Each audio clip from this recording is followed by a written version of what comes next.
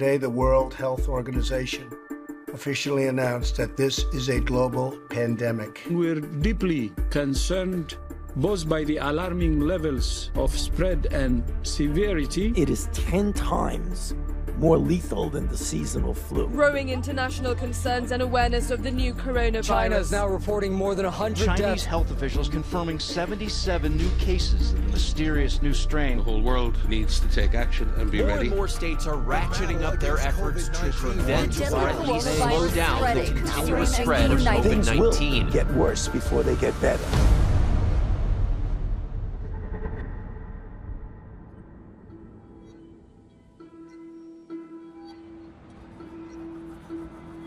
Be on alert. Dr. Li Wenliang sounds the alarm. A few patients inside the Wuhan Central Hospital have been suffering from a mysterious illness, an undiagnosed pneumonia. Dr. Li has just seen the test results. Seven confirmed cases of SARS. Li sends his message via WeChat to his former classmates from medical school. So frightening, comes one response. An hour later, Li, a 33 year old ophthalmologist, sends an update. It is confirmed that they are coronavirus infections. He adds the patients have been quarantined in the emergency department, and the outbreak seems to be linked to a nearby seafood market.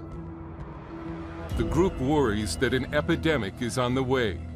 Memories of SARS, a coronavirus outbreak that killed 800 people in 2003, are still fresh.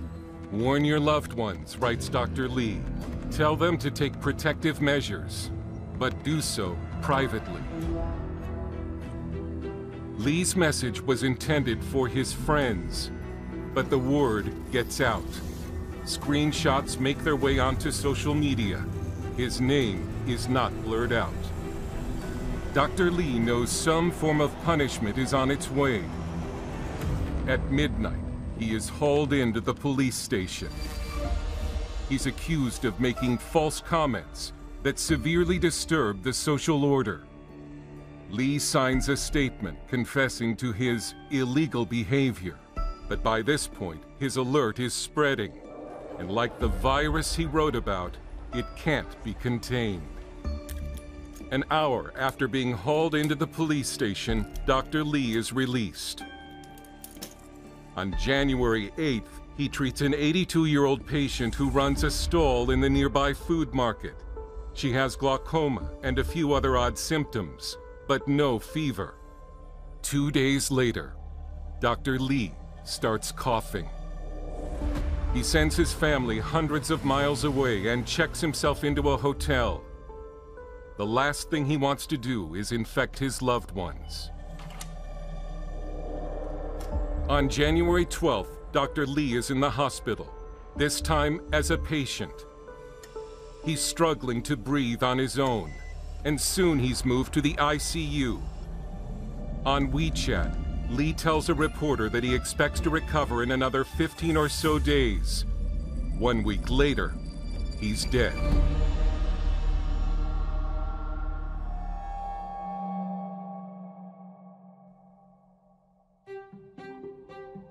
Viruses are remarkably simple. They're bits of genetic material surrounded by a protective coating. And they're small, some just 20 nanometers wide. To put that in perspective, the head of a needle is about 1 million nanometers wide. The outbreak that began in China at the end of 2019 was a coronavirus. So named because its spiky proteins resemble a corona, the Latin word for crown. These protein crowns allow the virus to stick to and then invade a host. Think of it as Velcro. Velcro sticks together because the two sides have a series of hooks and loops. A virus will Velcro itself onto a host cell and force it to manufacture new viruses. It happens quickly 10,000 in a few hours, hundreds of millions of viruses in just a few days. Ultimately, through coughing or sneezing, the virus will jump to a new host.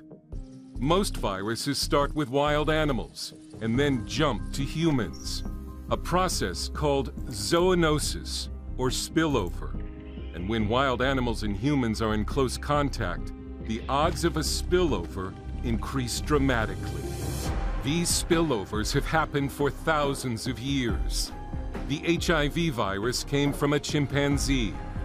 Ebola traveled from a fruit bat to a monkey, then on to a human. Influenza comes from birds and pigs. And in late 2019, a new virus would bring the world to its knees. But where did it come from? And how did it spill over?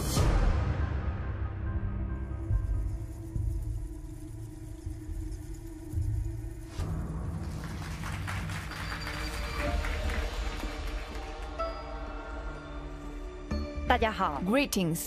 I'm from the Wuhan Institute of Virology. My name is Shi Zhengli. It is a great pleasure to speak to you and share the story of how we found the source of the SARS virus. During the 2003 SARS outbreak, Dr. Shi Zhengli gained a reputation as one of China's top virus hunters. And since then, she has been tracking other viruses to their source. A place known as the reservoir, in 2018, she recalled her hunt for the source of SARS at a Yi Talk event, the Chinese version of a TED Talk. We ask ourselves, where did SARS come from? We have to answer that question to really control a future outbreak from the source. In the wild, there are animals that carry viruses for a long time but don't develop an infection the host and the virus live in harmony. Scientists determined that the SARS virus had spilled over from wild civet cats, sold in China's wet markets. The markets were shut down, but just temporarily. Barely two months after SARS was over, the Chinese government quickly reopened the market. Since then, researchers around the world have warned that the wild animals in the wet markets were viral time bombs, a view echoed inside China as well. China's top medical scientist, uh, Professor Zhong, you know, warned the Chinese government these markets must be shut down. It's non-negotiable. He was saying that if we don't shut down these markets, we are heading for another pandemic. But while the civets carried the virus, they weren't the source of it. So Shi Li and a team of scientists went hunting for the reservoir. The prime suspect? China's bat population, which includes more than 100 species. Month after month, they explored caves in remote parts of China, trapping dozens of different bat species. And at last, they found what they were looking for. We detected a coronavirus. This coronavirus and SARS virus are closely related. But she didn't just discover one coronavirus. She discovered hundreds of them, so her team kept narrowing their search. After more than a decade, they discovered that horseshoe bats in the Yunnan province carried a coronavirus strain that was 97% identical to the one in the civets that had started the SARS virus. How did the virus get there? Bats infected the civets at the farm. The farm civets were sold to a wildlife market in Guangdong, where it spread and mutated. Finally, SARS was able to infect a person and also spread through human-to-human -human transmission. If we hadn't abused the civets, this wouldn't have happened. SARS wouldn't have broken out. Shi's discovery was a breakthrough that earned her the nickname Batwoman. Now that scientists knew the source of so many coronaviruses, they could study them, and they hoped develop a broad-spectrum vaccine to stop them. But the research also came with a warning. If we do not become vigilant, Another outbreak is entirely possible. How many viruses can infect a human? The answer is kind of scary. During the height of the SARS outbreak, the Chinese government had announced plans to build laboratories that would study the world's most dangerous pathogens. These labs would have the highest levels of biosafety. Air, water, and waste were filtered. Researchers were required to shower and change clothes before and after using lab facilities. One lab was built to withstand a magnitude 7 earthquake. The plan was to build half a dozen of these labs by the year 2025. The first of these virology institutes was cleared to open in January 2018, complete with a grant to study bat coronaviruses, funded by U.S. taxpayers. And the deputy director was none other than China's Batwoman, Shi Zhengli. The location, the city of Wuhan.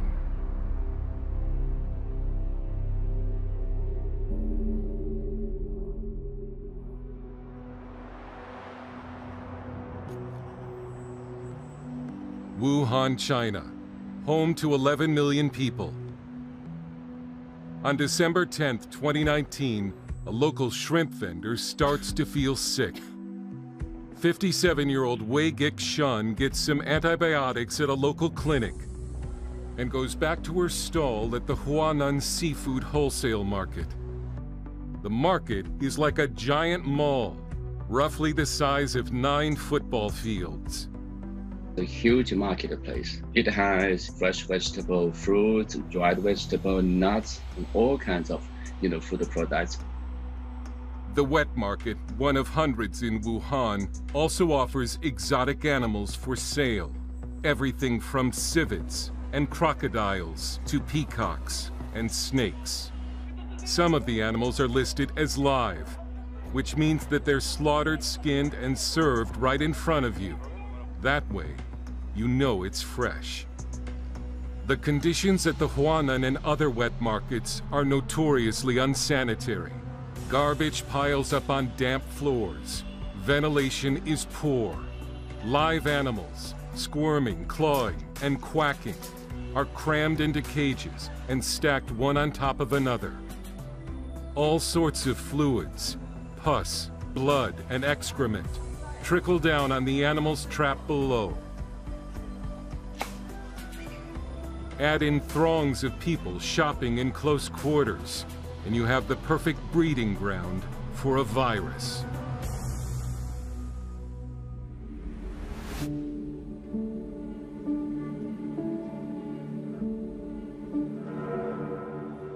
December 31st, 2019, New Year's Eve in Wuhan. Market vendor Wei Gik Shun is in a hospital quarantine. She's one of the first to be hit by the virus.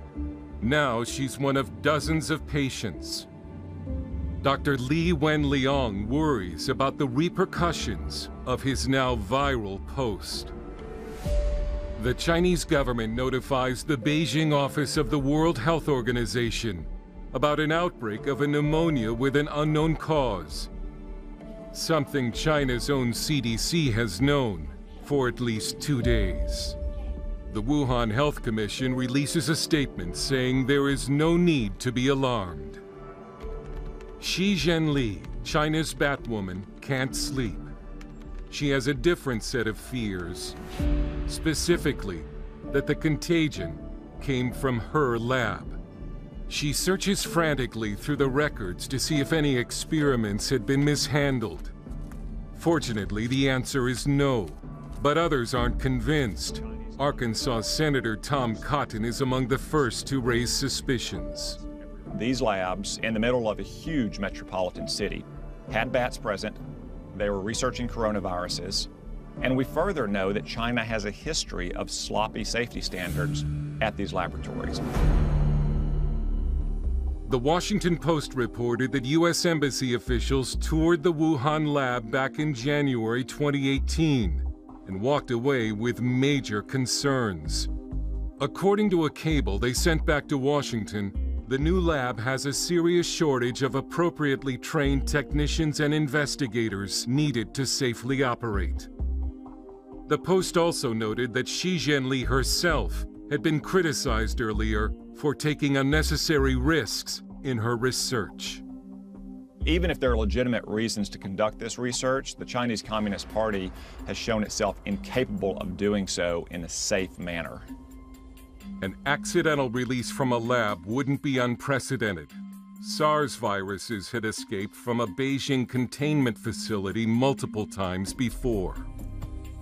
Shi Zhengli said she guaranteed with her life that the new coronavirus was unrelated to her lab. The Batwoman would swear on her life that she's not responsible and these labs aren't responsible, otherwise the Chinese Communist Party might take her life. Then again, the Batwoman didn't run the only lab in Wuhan. The Wuhan Center for Disease Control and Prevention is just miles away. And while Shi's lab operated at biosecurity level 4, the Wuhan CDC was a less secure level 2. Despite their lower security level, the Wuhan CDC also worked with the same species of bats studied by Shi Zhengli, and they too have been accused of not taking necessary precautions.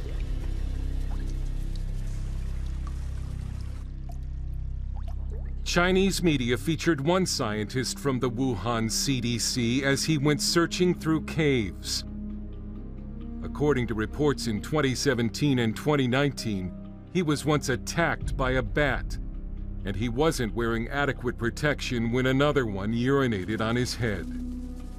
It just so happens that this particular lab is located in the same neighborhood as the Huanan Seafood Market, the supposed epicenter of the outbreak. There's not a shred of evidence to suggest that this virus came from those food markets.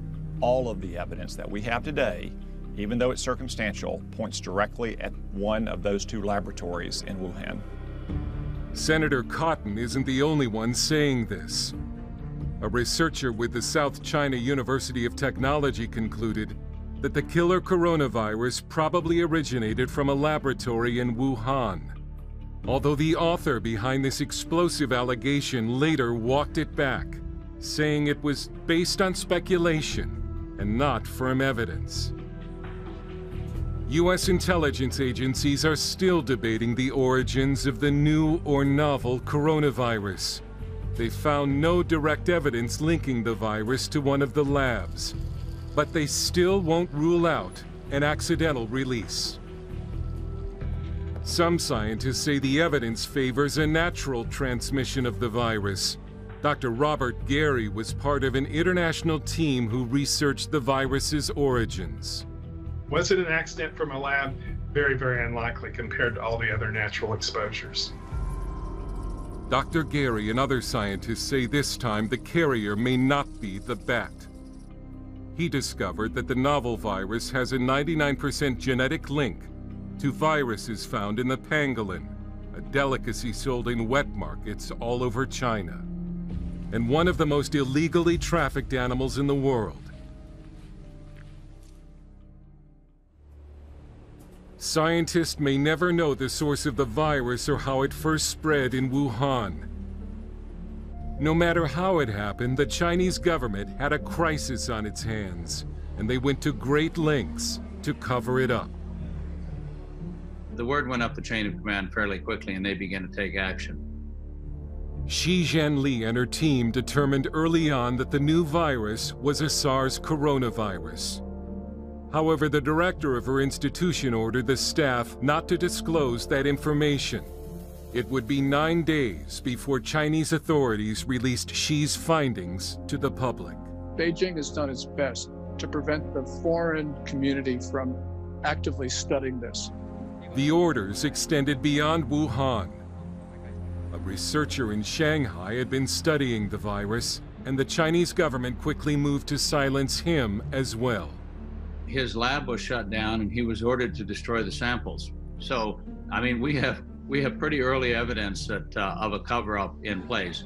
You're destroying the very information you need to help save human lives. On January 6th, the American CDC offered to send a team to China to help investigate the new disease. The response from the Chinese government? Silence. We are urging China. More cooperation and transparency are the most important steps you can take toward a more effective response. From January 5th through the 17th, local officials stopped reporting new cases to the Chinese CDC. And yet, during that time, hospitals in Wuhan were steadily filling with new patients. The numbers that come out of China are laughable. The Chinese Communist Party lie and they cover up and they spread propaganda and disinformation. On January 11th, Chinese state media reports the first death from the virus. Three days later, the World Health Organization uses Twitter to repeat a line straight from the Chinese authorities. They say that based on evidence from China, we don't believe that this is human to human transmissible, which is an indication that Beijing actually worked to convince the world of something it knew that it was not true. The now infamous tweet contradicts the findings of the WHO's own doctors. They knew the virus was already spreading through human to human transmission. Doctors in Wuhan have been saying it for weeks. To quote one of them, we knew then that the government was lying, but we don't know why they needed to lie. Maybe they thought it could be controlled. But it couldn't the virus had already traveled beyond China's borders.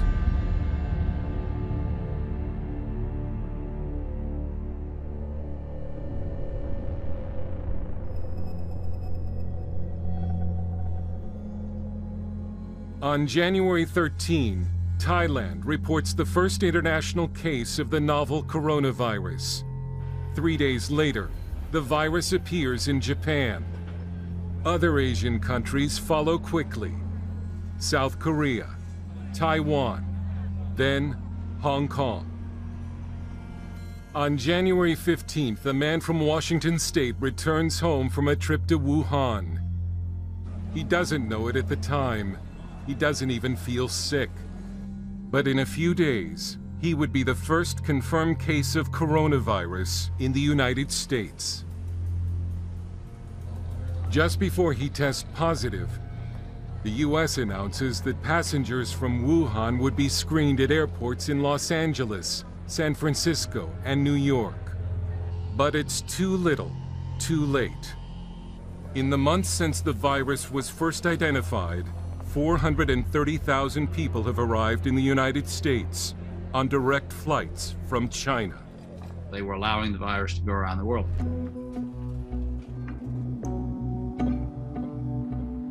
On the same day that the coronavirus arrives in the U.S., scientists from the American CDC announced that while the threat is remote, they are developing tests to detect it. Three weeks later, those tests, mistakenly contaminated with the disease, fail. One lab official observes that, quote, we're screwed from a testing standpoint if this virus takes off in the U.S. It will be another three weeks before the FDA allows clinical labs to develop their own tests.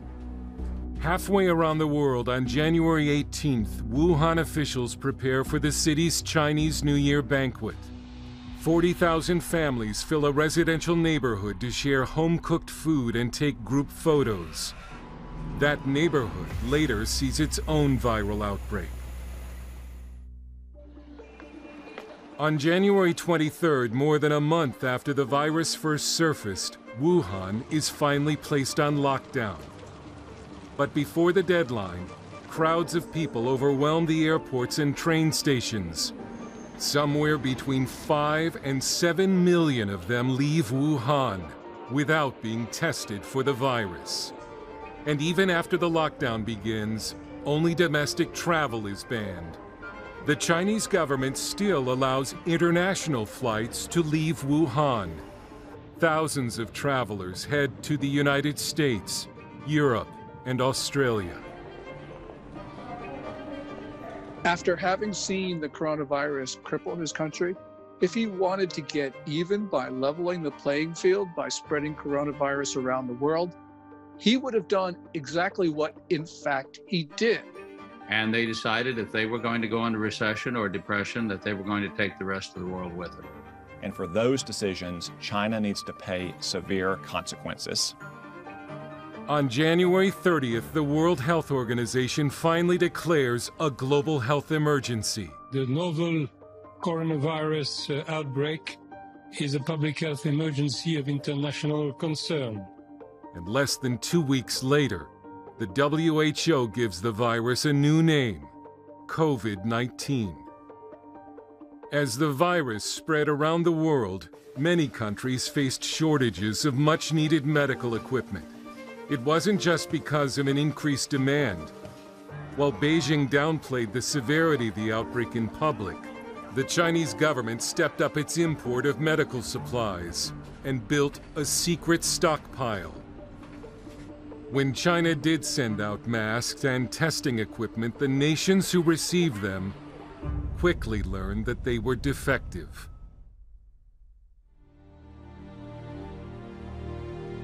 As of May 2020, the Huanan seafood wholesale market in Wuhan remains closed. But in a mind-boggling decision, the Chinese government has allowed other wet markets to reopen. They've temporarily banned the trade and consumption of exotic animals, and some organizations have urged the Chinese to make the ban permanent, but so far, no luck. Shutting down wildlife wet markets should not only happen in China, around the world. They should all be shut down. In the meantime, the world remains at risk. Wherever people are closing in on nature, there is the chance for a virus to escape its reservoir. The chance for the next outbreak. Therefore, if we want to prevent new diseases at their source, the answer is quite simple. Just stay away from it. Put an end to wild animal consumption. Reduce wildlife exposure. Reduce the chance of pathogens of spreading from wild animals to humans. My report is closed. Thank you, everyone. Shi Zhengli, the Batwoman, has been trying to find a solution to the pandemic, while also dodging accusations that it's partly her fault. Joining her are scientists, searching for viral reservoirs around the globe. So far, they've found hundreds, and yet they say that's only the tip of the iceberg. There are thousands of viruses just waiting to be discovered. And in the words of Shi Zhengli, we must find them before they find us.